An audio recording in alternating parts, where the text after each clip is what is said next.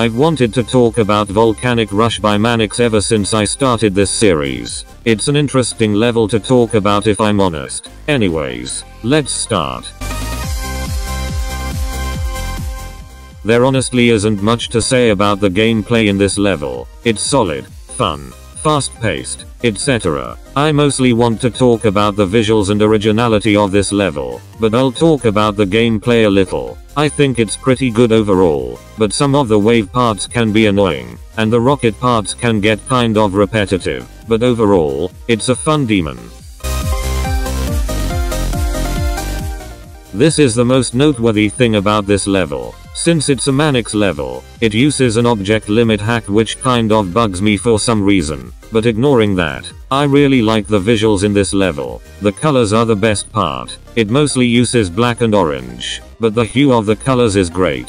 I really like how the lava in this level is completely made out of blocks. The effects are also great. I love how everything moves in some of the areas, making the level look very lively. I love the backgrounds, especially the volcano which was apparently made by some dude named Galzo who I've never heard of. I love how all of the jump rings are squares. I love how the coins have a 16-bit texture for some reason. The visuals of this level are the best part in my opinion. The only real nitpick I have about them is that, like many Manix levels, it can be a little too cluttered at times. Take this part for example, I don't think these molten meteorites need to be here. Also what's with the white clouds? Aren't we in a volcano or something? But those are just minor nitpicks in what's otherwise a great looking level.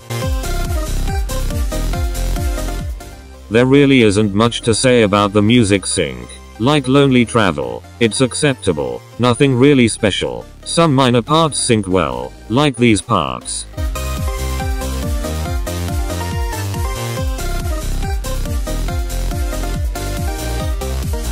But otherwise it's just decent. This is what I really wanted to talk about with this level. This is probably the worst aspect of this level, the originality. Besides the fact that it uses a song that isn't used much, this level really isn't all that original. I mean, look at this part. Does this look familiar? It looks exactly like Turbo by Lazerblitz. I noticed that the first time I saw this level. Also, it doesn't take a genius to realize that the boss at the end of the level is blatantly stolen right out of Forever Bound by Bob Ratchet. I mean, it's the exact same thing. Also I didn't actually notice this before Geometry Dash Squirrel made his video on Manix, but this part of Volcanic Rush is blatantly similar to Chasm by the Devon which didn't technically come first, but apparently a preview on the Devon's YouTube channel inspired it. Manix does sort of credit these people at the end, but that doesn't change the fact that he stole stuff from them. Now other than those parts, this really isn't anything that special. Almost every part except maybe the boss fight at the end and some of the square parts is pretty generic.